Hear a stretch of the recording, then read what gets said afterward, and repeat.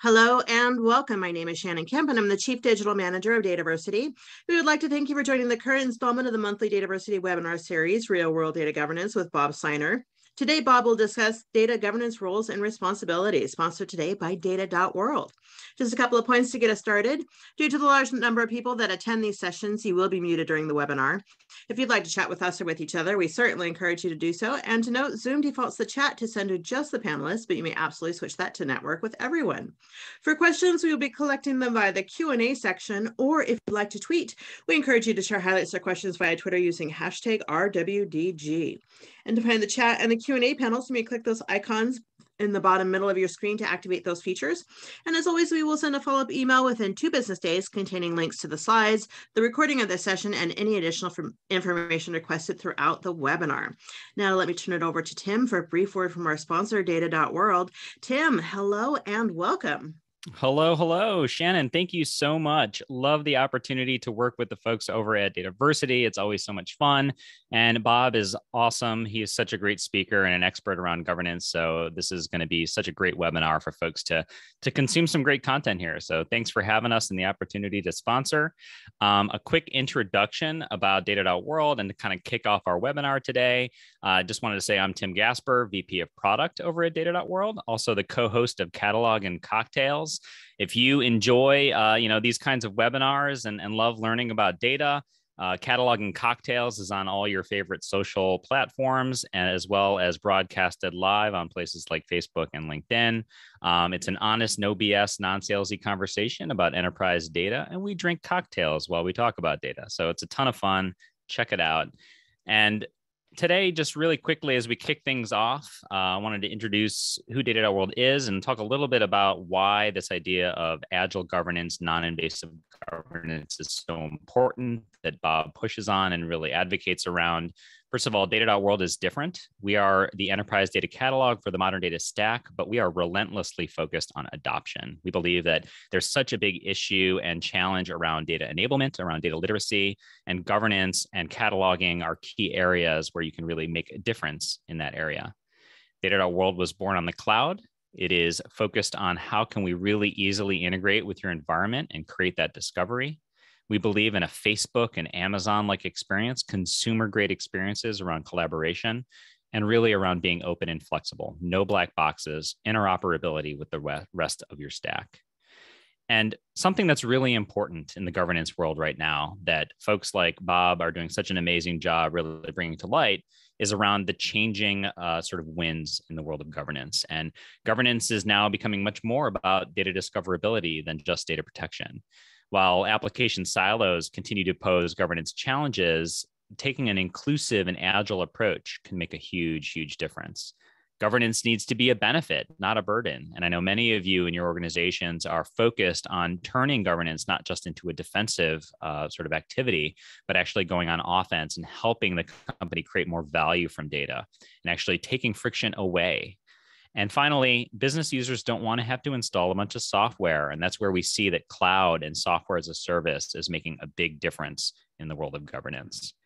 There's a huge movement towards not barriers, but accelerators, right? And so uh, at Data.World, one of the concepts that we're so excited about is this idea around agile data governance, where you can take, as Bob really advocates, a non invasive approach to governance, take an iterative approach to governance, really focus on the collaboration of people across your company and focus on use cases because ultimately you don't want to boil the ocean. You don't want to just take a platform approach. You want to solve problems. You want to help various parts of the business to find the data that they need and put it to work.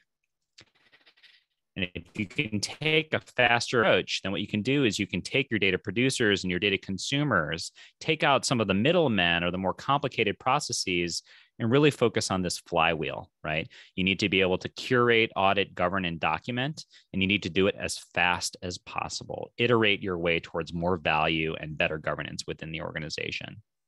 There's a lot of different people involved in governance, right? From the program team and the actual governance team that are working on it, to data engineers, to the data stewards, whether you've uh, got full time stewards or like most companies, you've got folks that are just wearing that hat, right?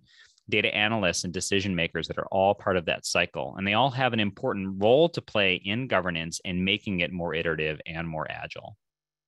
And importantly, is think about how you can build your data front office. If you're trying to empower use of data, if you're trying to make data governance work better in your organization, think about how you can create a layer where folks can find what they need, where it interoperates with the rest of your data ops ecosystem. So if you're using other lineage or quality or policy type tools, that those things can work together. Ultimately, you want to understand your data supply chain and provide a more self service experience around AI, machine learning, and analytics for the rest of the organization. So, Agile data governance is the way to go. And Bob is an excellent expert to talk about all the things that you should be doing around governance and key roles and responsibilities today. So, I'll pass the baton back over to you, Shannon, to get things kicked off. And thank you so much. Always a joy to have you uh, presenting with us and Data.World sponsoring. If you have questions for Tim, he's going to be joining us in the Q&A at the end here. So if you have questions for him about Data.World or data governance, feel free to submit them in the Q&A panel. Now let me introduce to you our speaker for the series, Bob Seiner. Bob is the president and principal of KIK Consulting and Educational Services and the publisher of the Data Administration newsletter, tdan.com. Bob specializes in non-invasive data governance, data stewardship, and metadata management solutions. And with that, I'll give the floor to Bob for his presentation. Hello and welcome. Thank you very much, Shannon. Thank you, Tim, for that great presentation. I, I really liked a lot of the things that you spoke about. My slides seem to be changing on their own today. So let's try not to let that happen. Um, thanks again, Tim. That was a great presentation. I really like the, the concept of agile data governance, the iterative approach. I just had conversations with clients this morning. We're not going to be able to um, to flip a switch and have governance come on for the entire organization. So why don't we learn from what we're doing and doing it in an iterative more of an agile type fashion. You also alluded, Tim, to the people that need to be involved. And that's specifically what I want to talk about today is the specific roles and responsibilities that are necessary to stand up a formal data governance. I know that uh, Tim, you talked about stewards and engineers and a bunch of other roles, the people that run the program and those types of things. I want to provide to you a model today that, that you can perhaps use within your organization that details each of the different roles and responsibilities and would love to hear questions uh, on the subject as to you know whether or not these are things that are working in your organization or if you have questions about how to get some of those things working so now i'm going to change my slides Okay, things are moving weird here. Okay, so before I get started, real quickly, just wanted to introduce myself. Um, I've been doing this webinar series, excuse me, for many years, always on the third Thursday of the month. That is today. Next month, we'll be talking about the role of metadata in the data governance program. I'll also be speaking at Dataversity's DGIQ um, event that's going to be taking place in June in San Diego. I talk a lot about non-invasive data governance. I know Tim referred to it and um, it always seems to come up in conversation as to how you can be non-invasive in the way that you're implementing your governance program. Um, so there's a book about it if you want to learn more about it. In fact, the book has now been translated into Dutch, Italian, German, and French. So if you're uh, interested in receiving a book from, of that uh, in that translation, please look for it. I also provide some non-invasive data governance classes and metadata governance classes through the Dataversity Training Center. I published the TDAN or the Data Administration Newsletter publication, and I've been doing that for 25 years. I'll also have the KIK Consulting and Educational Services is, is my consulting and education business. And on the side, as if all those things weren't enough to keep somebody busy, I'm also an adjunct faculty member at Carnegie Mellon University here in Pittsburgh, Pennsylvania, which is where I am from. So what are we going to talk about today? We're going to talk specifically about the backbone of a successful data governance program. We're going to talk about roles and responsibilities that go into communications, they go into task planning, they go into accountability and ownership for the data. Roles and responsibilities play a critical part in uh, a are a critical component of a successful data governance program. So I'm going to talk about five different levels of data governance roles I'm going to share with you an operating model that I've used a lot in the webinars and that I use a lot with clients and talk about how you can basically take that operating model and customize it to meet the requirements from your organization. So instead of plugging into my model, I always suggest take my model and be less invasive about it. Take the model and overlay it over your organization. We'll talk about setting appropriate expectations for each of the roles. And then we'll spend a little bit of time talking about how to operationalize the roles and demonstrate value to the organization. So real quickly to get started, I just want to share with you some definitions. And then I actually want to share with you my data governance framework and talk to you about how that relates to the operating model of roles and responsibilities that I'm going to share with you. So just real quickly, my definitions of data governance uh, and data stewardship are as follows. I say that data governance is the execution and enforcement of authority, even though I say that we are going to do it in a non-invasive manner at the end of the day, we need to follow the rules that we're setting up. We need to formalize accountability for what people are doing with data as they define, produce, and use data. So that kind of leads into my data stewardship um, definition. And then a data steward, and we'll talk more about who the data stewards are and where they fit into this model as I go throughout the webinar today. But it is a person that has a relationship to the data that's actually being held formally accountable for what they do with the data, whether that's mm-hmm. defining data, producing data, or using data. I have been known to say that everybody is a data steward and that organizations should get over it.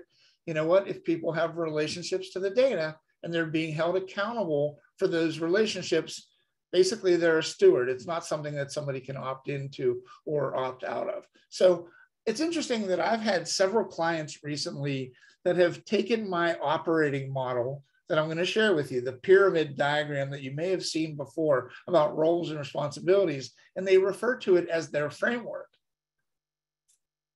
So I don't use that term to describe my operating model. And I want to share with you what, just real quickly, before we jump into the levels of the model, um, how it even came to be and, and, the framework that is used basically to build out the model. And the framework basically uh, uh, includes things like the core components of data governance. And one of those core components is the roles and responsibilities associated with your program. It goes through the organizational levels and then it cross references those. You may have seen this diagram before. And it's what I refer to as my data governance framework. And like I said, I have those six core components across the top of the screen. And then down the, the left-hand side, I have the five different levels that basically, at least from my experience, represent all of the people within the organization that we need to engage in data governance. And so what I want to do is I want to first of all highlight what I had up in the upper left-hand corner of the framework, just to share with you again, the components and the levels that we want to talk about. But actually, when I first delivered this framework, I didn't have a data column. So the data column has been added in the last several years. But I really think we need to look at data in terms of what the executives care about. We need to look at the role of each of those levels in the organization. We need to look at the processes that mean something to each of those different parts of the organization. So as I start to lead into talking about the five different levels of roles and responsibilities, let's focus on the executive, strategic, tactical, operational, and support levels of the organization. So it's nice to have an empty framework and it's nice to fill in the framework. I also want to provide to you an example of the framework filled in. And I, I want to specifically focus on the roles column. And you can see at the role in the roles column, there's a level uh, at the, it, it um, intersects the executive level, the strategic, and so on, all the way down. We need to make certain that we know who the people are at the executive level that need to support sponsor and understand data governance in order for us to be successful, in order for us to decrease the risk to the organization. Many organizations have data governance councils at the strategic level, have data owners or domain stewards or subject matter experts at the tactical level. At the operational level, there's everybody in the organization that has a relationship to the data if they're going to be called a data steward or if they are going to be recognized as stewarding data as part of their job. And then there's the support functions. So I wanted to share this with you before I got into my operating model of roles and responsibilities, because roles is only one component of a successful program while you've got processes, communications, metrics, tools, and those types of things. Um, we're going to focus on the roles and responsibilities in those five levels right now. So, first of all, what are the levels that, and you know what, I, would suggest that if these levels are different for your organization, you make them what you need to make them for your organization. I had a client, a power company on the West Coast here in the US, tell me, you know what, we use different terminology. We actually flip the operational and the tactical level. So they had the operational level up as the cross business function perspective and the tactical as being very business unit function perspective. So the, these are the five levels, and typically they represent the majority, if not really everybody in your organization.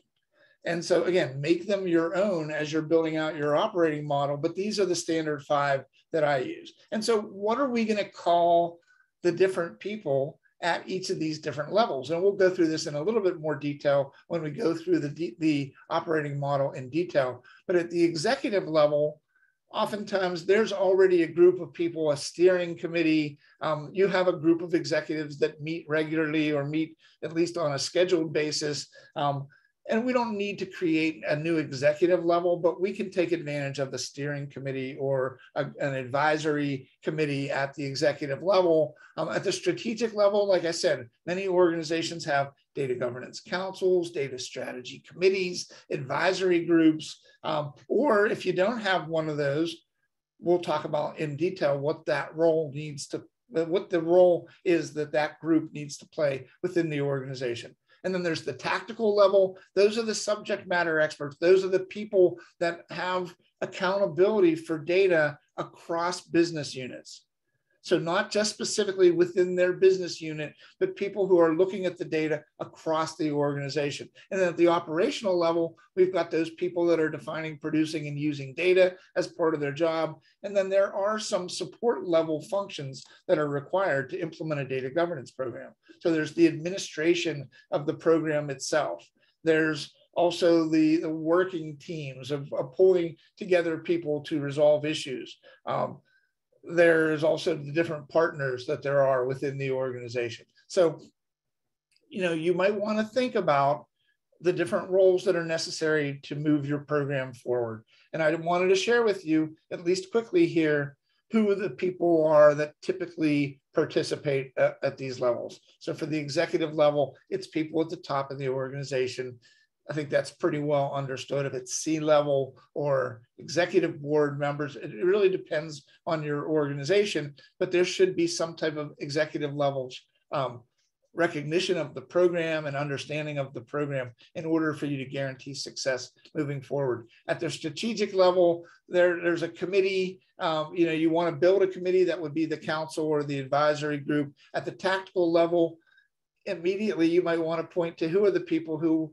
really have the answers about the data or know the most about the data as the subject matter experts. Those are the people that are going to participate at your tactical level. The operational level as i've stated several times here can be basically anybody in the organization people that define produce and use data as part of your job uh, or part of their job. And at the support level again the program leadership you know the existing functions and the the teams that are going to be brought together to resolve issues or to address opportunities in your organization. So, what are some of the things that we need to define for people when we are slotting them into a role or recognizing them into a role? Is how much of their time is going to be required?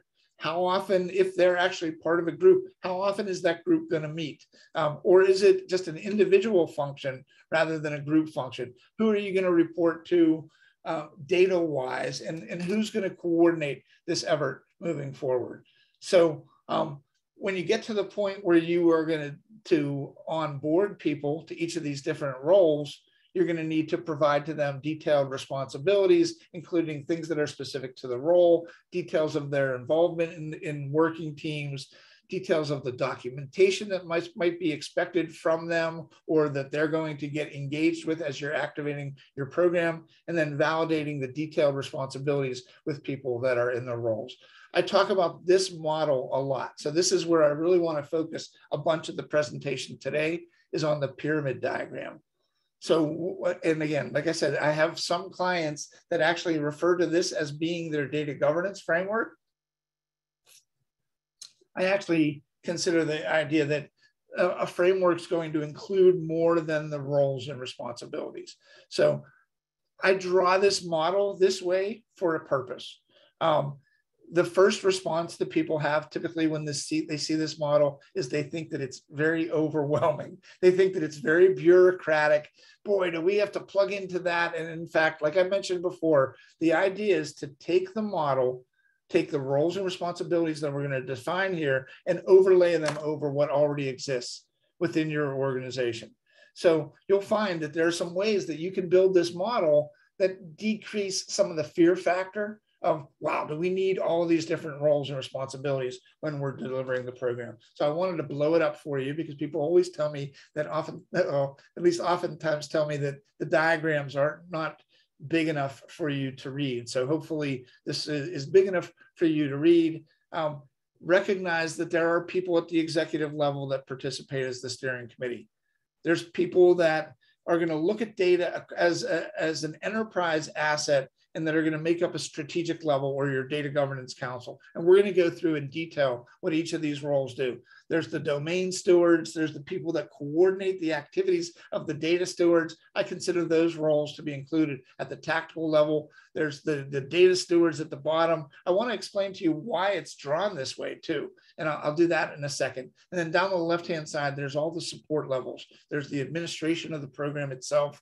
There's people who are governing whose functions are already governing like IT and project management and legal and audit and all those groups, they're partners of data governance because they're doing governance work. It may not be data governance work, but they're all project management.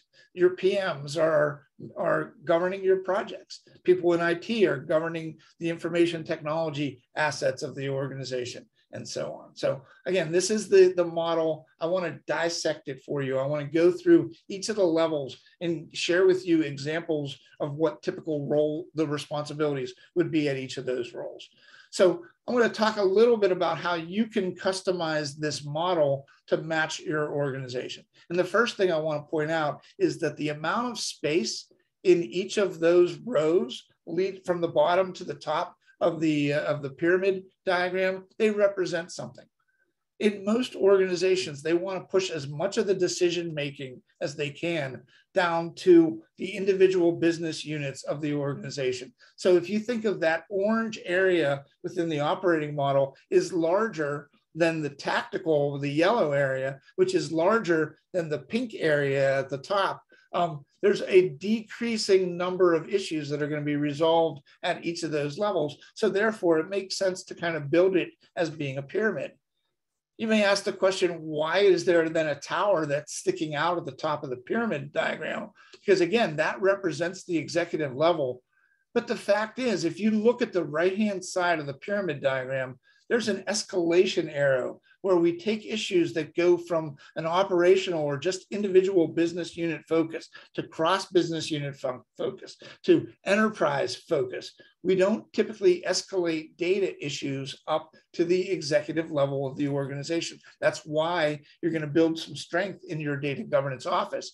And it's again, you, you know, you typically aren't going to take data issues all the way up to your executive level of the organization. So the space in each of the levels means something. Um, there's oftentimes consistency in color as well, because I share other models in different webinars and presentations that I've given for Dataversity, um, where the models are consistent across, across model in the use of colors.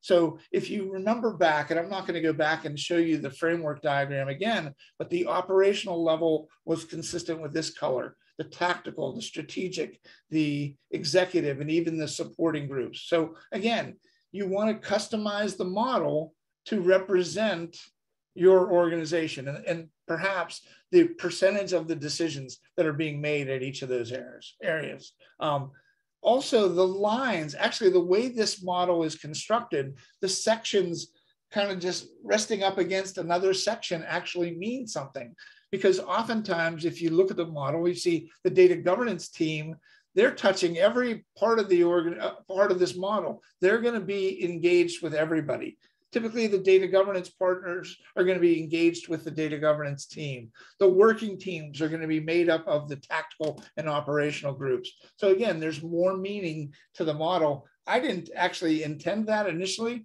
but somebody pointed it out to me and said, you know what, if we could really describe in detail how these groups work together, that would be a very powerful thing. And so the last thing I want to share with you just about how the model is designed itself is that these groups are not all new to the organization. Some of these things, some of these functions already exist. IT and project management and IT security and privacy, they're already governing. Those partners, you might want to leverage those you might already have somebody who's responsible for your data governance program. So the data governance office or the administrator, they exist. You may have a steering committee that you can leverage, and the council might be new. You can highlight in your model those things that already exist within your organization. And again, this really highlights the non-invasive aspect of governance is that if we can take people from the roles that they're playing and plug them into the model for data governance without really adding a lot to what they do, it's going to be less threatening to them. It's going to be the path of least resistance and greatest success for your governance program. Um, and again, you know, it, the use language, call these things the things that make sense to your organization. Um, so let's go through each of these different uh, uh, differing levels of the five levels that I shared with you. And let's start with the steering committee. So what does the steering committee do? Well, to be honest with you, when it comes to data governance, the steering committee doesn't do a whole lot day to day. I mean, they don't do really much anything at all day to day. They're active. They understand data governance. They're there to support and sponsor data governance. They're people at the highest level of the organization, but they don't have any specific responsibility to data governance except to be reported to. What are the, what's the status? What's the progress of the program? Their real job is to get to the point where they can support, sponsor, and most importantly, understand data governance. Uh, understand what data governance is, what it means to your organization, what it's going to take to be successful, including resources and those types of things. Um, the Data Governance Council, you know, and the things that are happening within data governance, typically they appear as a line item on a steering committee meeting uh, on, on a steering committee meeting's agenda. So we'll get a few minutes to talk about data governance, but honestly, the people at the data governance steering committee level, they have an understanding, their understanding of data governance only goes so deep. They're looking at so many things across such a broad um, part of the organization that their knowledge and their involvement in data governance doesn't need to be active day to day, but they need to support, sponsor, and understand what you're doing with data governance. So that's a pretty easy one to describe. You probably already have a steering committee. Get your data governance program as a line item on that steering committee meeting, and you've satisfied the top part of the, the, uh, the operating model. The data governance council is the next level down. And, and oftentimes the steering committee people will have the responsibility of defining who's going to be on the data governance council who's going to be that strategic group where when we escalate issues, it goes to them and it stops there because that's where the decision is being made. So it is important, especially if people at your tactical level don't have the authority to be able to make decisions, it's important to have a group to be able to escalate issues to so people don't just agree to to to knock heads together disagree and go in their own merry way you know, we need to resolve issues. So we need to have a council. And what is the responsibility of the council? Well, it's to become educated in what data governance means. And I'm just going to read for you here how it can and how it can work for the organization, how it will work for the organization.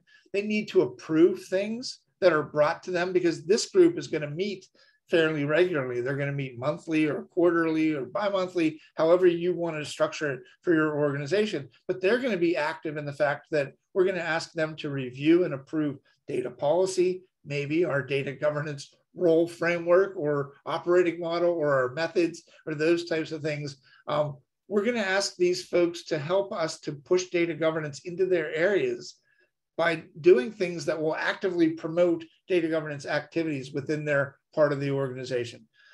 one of the really important responsibilities of a data governance council is to make decisions at the strategic level in a timely manner. So oftentimes, since the Data Governance Council meets once a month or meets, you know, once a quarter, we can't, and let's say it's on the second Wednesday of the month. But what if an issue comes up on the second Thursday of the month? We're not going to wait three months for the next group to uh, next meeting to try to pull people together and make a decision. So we need to have a way to be able to work with the council virtually not necessarily always in the meetings themselves. So the people on the council should attend or they should send alternates. They should stay aware of the things that are happening in the data governance program. They're not running the program, but they are there. They're, they're that strategic body that's helping to um, helping data governance to do the things that are expected from them. They approve, they identify and approve the roles and responsibilities. Um, oftentimes there may be a council owner or somebody who's administrative person perhaps would be responsible for scheduling meetings. But the data governance council is extremely important because otherwise, unless you can push all of your decision making down to the tactical level, you're going to need somebody to break ties, to make decisions, to review things before you take it to people at the executive level. So let's talk about the data domain stewards here for a couple of minutes. And this is a very critical role. In fact, when your organization talks about breaking down silos of data, you need people, excuse me, you need people in the organization to view data across business areas. We've got people that are viewing the data pertaining to their specific business area, but you need people, and I refer to them as data domains or data subject matters across organizations. I've I had always referred to them as data domain stewards until a client of mine said, "Well, so wait, you call them data domain stewards, but they're really data subject matter experts, right?" And I said, "Yeah, I guess you could consider that to be the case." And they said, "Okay, that's what we're going to call them." Again, I'm not stuck to any of these names of what I'm calling the roles, but they they refer to them as the data subject matter experts and this is some of their responsibility. So they're responsible for an enterprise management of a domain or a subject area of data across business units. Oftentimes they're identified by a position, or maybe uh, uh, we always go to Mary when we have a question about this specific data. Maybe she would be the subject matter expert until we find that she's not the appropriate person and it might be somebody else when they're acting in the role of the domain steward, whatever affiliation they have to their existing business unit basically becomes secondary.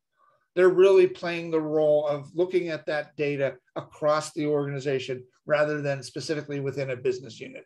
They are oftentimes an involved facilitator in bringing people together. Uh, the, you know, the, the definition, the production, and the usage of that specific subject area of data across the organization sometimes the people as the data domain stewards are the in a position of authority to be able to make decisions if they're not in a role of authority you're going to need your council because you're going to need to be able to escalate it to somebody who will ultimately make the decision. Some additional responsibilities for the data domain stewards they're responsible for escalating issues to the strategic level they're responsible for documenting uh, if not themselves, they may delegate it to other people, but document how their specific data is classified, document the compliance rules, the business rules for their domain. They're making certain that these rules are not only documented, but they're being communicated to people across the organization.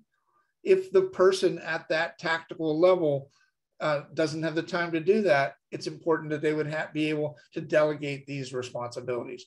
Because again, we're not looking at data in a siloed fashion. We're looking at data to help us to improve our analytical capabilities across the organization. So we don't want people to have five versions of what a uh, of what a faculty member is, as an example. So you got the data. So what are some of the traits of the, the data domain stewards? Or, and to be honest with you, the data domain steward is the most difficult role out of this operating model to fill. Or it may be the easiest. You know, if you have a person that you already go to, then maybe it's the easiest. But to determine who the people are that have responsibility for data across business areas is not an easy task. So what are some of the traits that make up a good person to be a data domain steward? They have a vision of what the future of data as an asset for your organization, what that looks like. They're looking for ways to improve the status quo. They have the ability to motivate the organization. Again, I don't want to read all of these, these uh, traits, but I really find that people that are successful in the role of a data domain steward do have these traits. The most important bullet might be this bottom bullet that they have the personal interest, the intuitive ability, communication skills to facilitate, you know, when you get together to resolve issues to a win win, because there will be differences of opinion when it comes to data and even how that data is defined, how it's produced, how it can be used across the organization. So the data domain steward, that central piece, that yellow piece of the pyramid is the most critical, probably the most critical role. I could probably say each of the roles are very critical. I said the council role was very critical, but this, the people who start to look at data instead of business unit by business unit, but look at it across business unit are extremely important.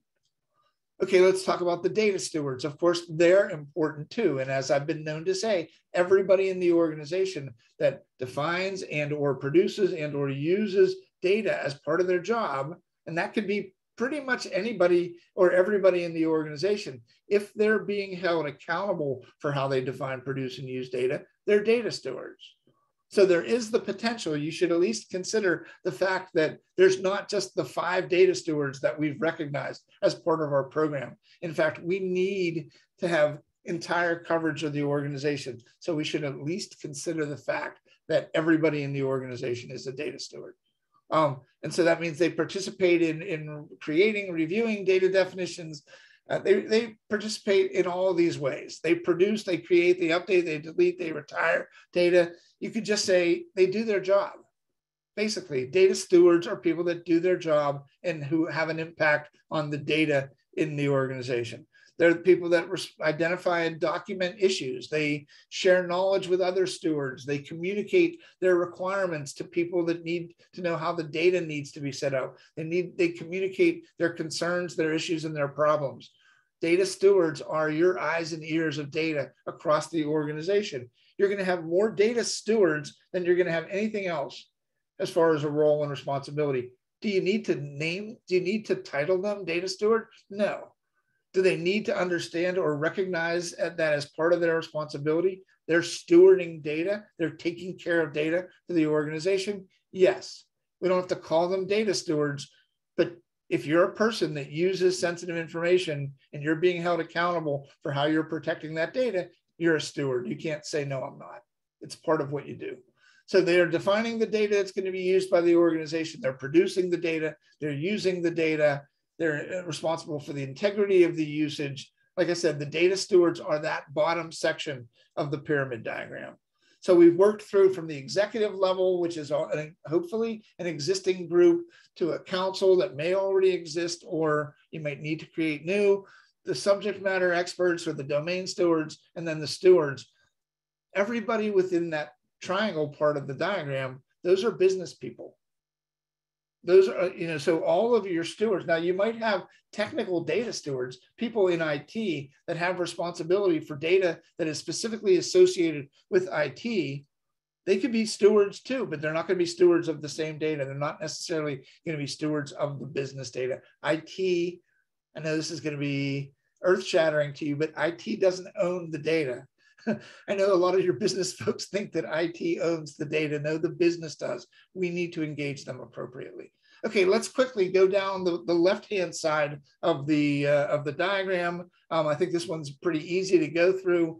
Um, you need to have somebody that has the responsibility for running your program. So whether that's a data governance manager, data governance lead, administrator, manager, whatever you want to call that person, somebody needs to have the responsibility for running the program. Some organizations build out data governance offices if they have multiple resources that are working together. Some organizations are planning to build out data governance offices, but we need to at least acknowledge the fact that there is somebody that is responsible for administering the program. That would be your data. I like the name data governance administrator because it does represent what that person does. So oftentimes a group, and I can name several clients right now that have planning teams, data governance planning teams of people that are pulled together to define the team.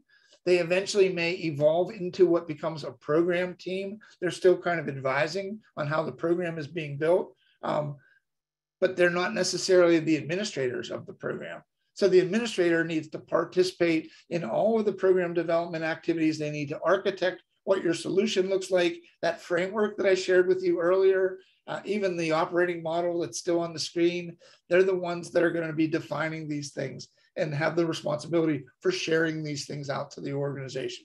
So they really assist in administering the program, or they are the administrators of the program. And oftentimes, I mentioned the Data Governance Council and that they meet, they can meet fairly regularly, monthly, quarterly, or somewhere in between. Typically, um, oftentimes those meetings are facilitated by your data governance administrator or your lead or your manager. Um, they participate in the in all of these things as well. And again, don't want to read them all to you. I hope that this slide deck will be a good resource for you to go back to um, to understand what are some of the things that a data governance administrator would do. They report to the council. They assist in defining the, the quality metrics. They may be the person that drives the data catalog effort, the metadata management effort within your organization. Um, I will share with you that as the as a best practice, I'd say the, the very first best practice that I have is that senior leadership, however that's defined, they support, sponsor, and understand data governance. Because without that, you're going to be at risk. The second best practice often focuses on this data governance administration role.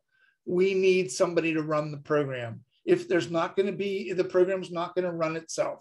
So it is a best practice that you would have somebody in your organization that has the responsibility for all these things when it comes to running your program. Because, like I said before, the program is not going to run itself.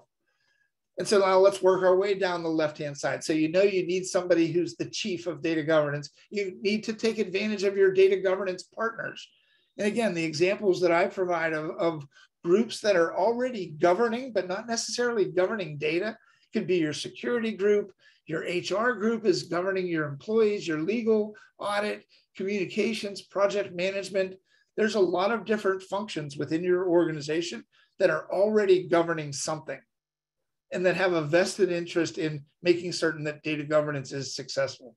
Work with them as your partners. Define them as your partners. Don't give them a new role. They've already got a role. You're not trying to do what they do. And hopefully, for your sake, they're not trying to do what you do, but you're all governing. So, I actually had a group recently that instead of calling it a data governance planning team, they called it a governance planning team. And they had individuals from each of the partners that were part of that governance planning team. So, just to give you some additional examples of what the partners do. Um, again don't want to read through these but you know you've got it you've got data modelers these folks are, are focusing on the data they're there to help you if you can build working relationships with them the partners become an integral part of successful data governance oftentimes there's battles as to what what is the boundaries of one group versus another group well that needs to be clearly defined as part of your roles and responsibilities what do your data governance partners do versus what does your data governance team or your data governance office do? Provide technical support, provide te- uh, technical support for data governance and data cleansing. Again, you can define what it is that your partners do and just include them in your operating model of roles and responsibilities because they're already governing. They should be able to be a big advocate of a successful data governance program. So the last thing that I want to talk to you in the in the few minutes that I have remaining is to kind of emphasize. I very rarely, if ever, show a picture of the cover of my book this late into the webinar. Um, but I, I just want to highlight kind of the the subtitle, which is that if you're taking a non-invasive approach where you're identifying, or should I say, recognizing people into roles rather than assigning them into roles, that is really the path of least resistance and greatest success. I know that in, in all the organizations that I work with, people are busy, people have day jobs. Um, if you are going to assign them to be a data steward, it is immediately going to feel like it's over and above what they're presently doing. when in fact you may not intend that with what you're with what the way that you're going about associating them with a role. So instead of assigning people, let's recognize them for what they do. So again, emphasize that you're being non-invasive in your approach. You've already got people that are doing some of these things at least. Let's formalize who they are. Let's work with them. Let's onboard them, help them to understand the role that they play. Let's ask them if the role that we've defined associated with data governance matches what they do.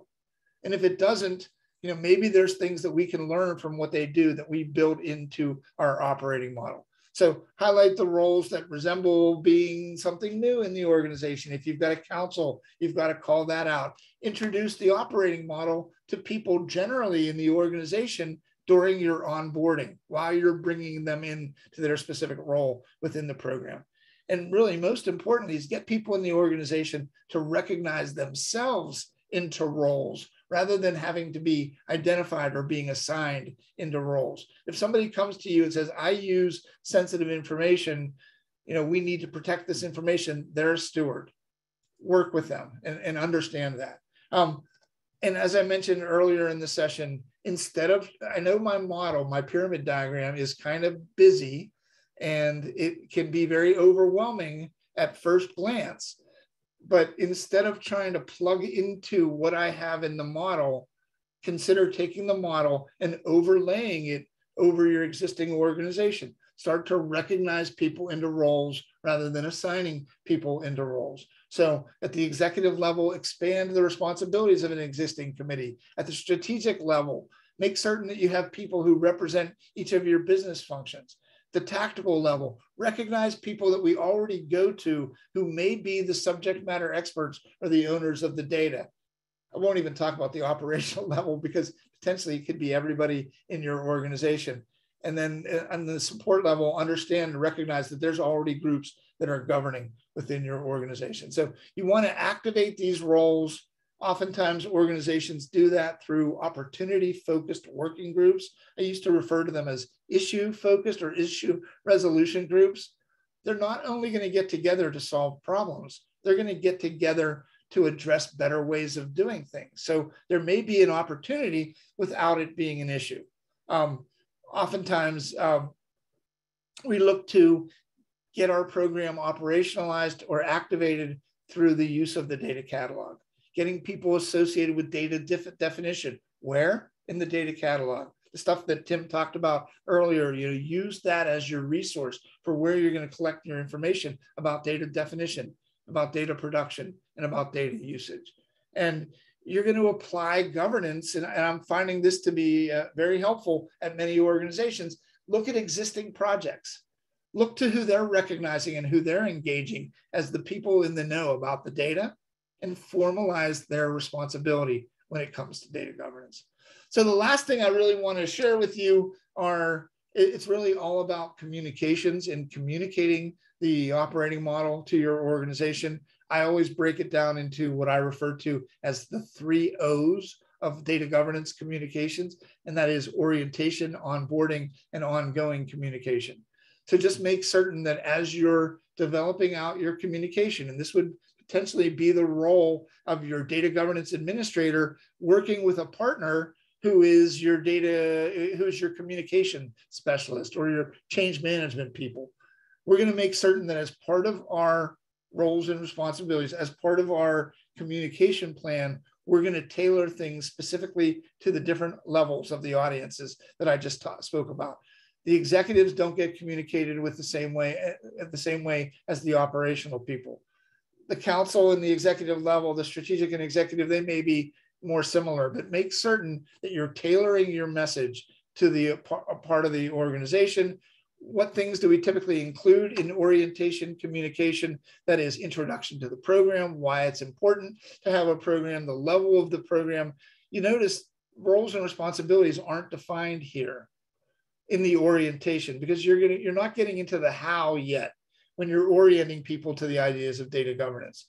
So then when we get to the onboarding piece, the second O, it's you know how are people recognized into the roles? What are, what is expected of them? What is their role-based activity?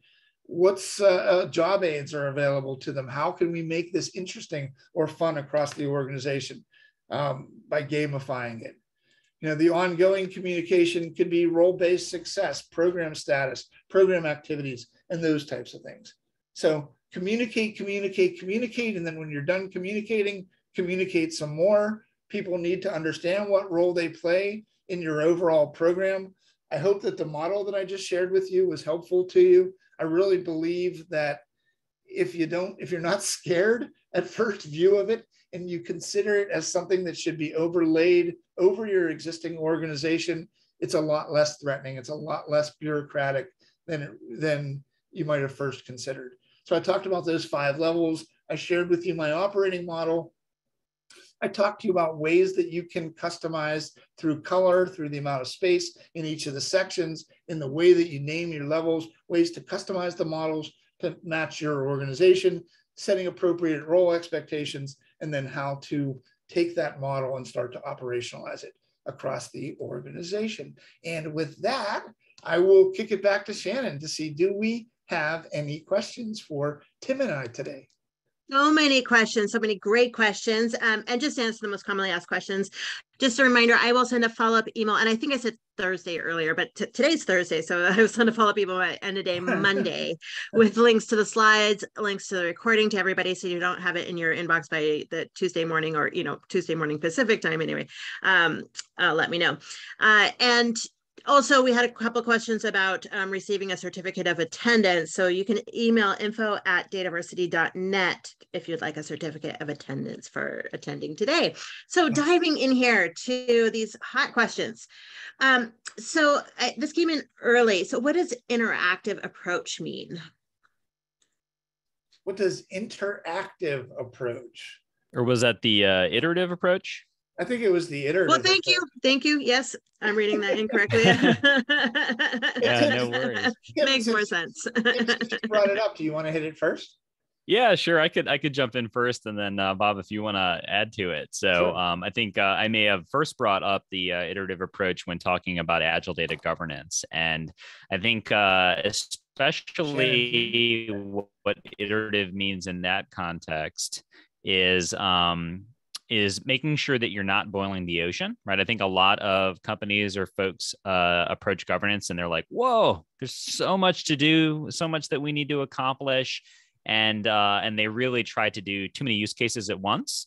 Um, and an iterative approach can really mean like look at what is really important that you need to do. Like what is that sort of we call it like the use case backlog of what you're trying to do from a governance perspective, and really tackle the biggest issue first get the right people together and think about like what's the fastest meaningful increment of value that we can achieve right? Almost like a minimum viable product approach.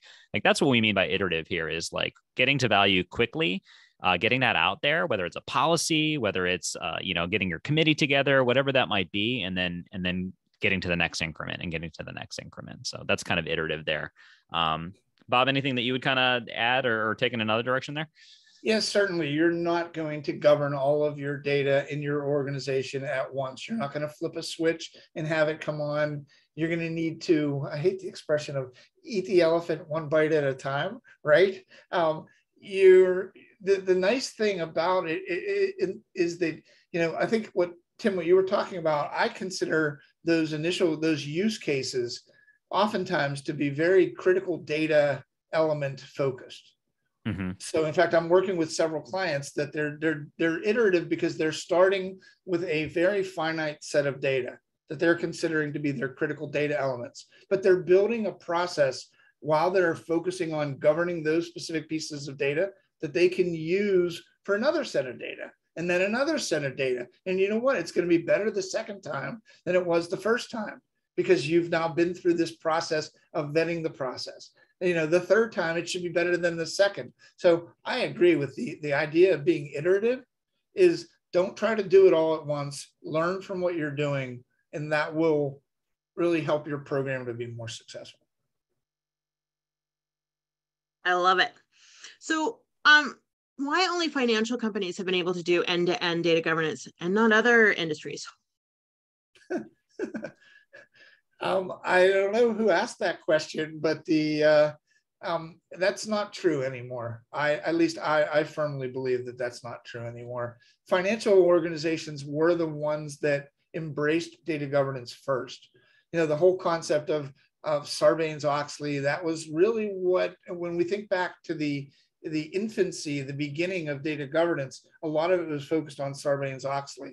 Um, but now, you know, privacy of data, uh, analytics of data is no longer just a financial industry thing anymore. So I could, uh, if this person wants to reach out to me and they're looking for examples of other organizations in other industries that have had beginning to end success, well, not beginning to end because a program goes on forever, but have had beginning and sustainable success in their program, please reach out to me. I don't know, Tim, have you experienced it's all finance organizations no, I, that are doing this well? I, I, totally agree with you. I think I think it's much broader than finance now, and agree that I think finance kind of was at the on the earlier edge of all of this. Kind of it kind of speaks to the power of regulation to really drive action, right? um, really? So right. that's obviously a key driver there. But I think in addition to regulations being important to a really broad variety of companies now, even if regula- regulation isn't driving your governance motivation as much, um, you know, self-service analytics, AI, uh, data literacy. There's so much going on now that like it's it's really impossible not for you know for for for you know any company of any significant scale or size uh, size to sort of avoid governance, and and and many are doing a very good job of it now. Yep, I agree. Love it. So Bob, back to your um, uh, framework slide. Is the data column the domains? No, um, that's not what they're they're meant to be the, the data column, again, kind of partnered up with each of the different levels as you go down and, and it intersects each of the rows. It is, you know, typically it would be what is the data that is most important to the executive level? What is the data that is most important at the strategic level, at the tactical, the operational, and even at the support level? Um, it is not domains. Oftentimes, the business domains or the subject areas are going to be that tactical level. Again, as I, I, talked about how you got your council and then you've got your stewards at the bottom, you know, the council at the top of the, the triangle, but that middle part, you know, those are the people, um, you know, those are the people that we really want to focus the most on. Perfect. So how is non-invasive data governance different than the invasive counterpart? Any examples? Well, I'll just simply use the word assign versus the word recognize. Because in a in a in a more invasive approach, people are assigned to be data stewards instead of being recognized to be data stewards. Instead of in a not in a more command and control approach, they're told you will do this instead of starting with the premise of you're already doing this. In a, more command and control approach, you're going to redefine all of your processes, but in a, a less invasive approach, you're going to apply governance to your processes. So it is literally less threatening to the organization because you know what? You already have processes. You have people that are doing things with data you have a lot of these things that that can be leveraged as a starting point. So that's why I say it's the path of least resistance and greatest success because we're going to take advantage of what is already there. If you work for a company right now and your company's been around for five years, 10 years, 50 years, 100 years, you were doing something right. People had accountability for data, it just wasn't formal being non-invasive is just formalizing that accountability that you would hope would have existed all along. That's what non-invasive is. Tim, Thank you. you. Tim, yeah. Tim, you want to add anything to that? I don't know. What do you think? no, I, I, honestly I think that's perfect. I mean, we're we're huge fans of the non-invasive approach over at Data.World, and and we feel like it it really is the best way to to not boil the ocean and be iterative. So yeah, nothing nothing really to add there other than an endorsement. Okay. Good. Thank you. well, um, oh, I'm gonna try and slip. Uh, mm, I don't know if we can slip. We were just at right, almost right to the top of the hour here. So I'm afraid that's all the time we have. But you can keep your questions coming because I will get those over to Bob and we'll get those answers to you after, um, or it's in the follow up email, which will go out by end of day Monday with links to the slides, recording, and anything else. And I threw in the chat too. Um, so people had some questions about where to buy your book, and you can learn all about non invasive data governance. Um, so it's in the chat there, and I'll make sure that's also included in the uh, follow up email as well. Tim, thank you so much again for joining us and for data.world for helping to make these webinars happen. Appreciate it as always. Absolutely. Thanks so much, Shannon. And thank you, Bob. Thank you. Thank you, Thanks, Shannon. everybody. Hope you all have a great day. Take care, everybody.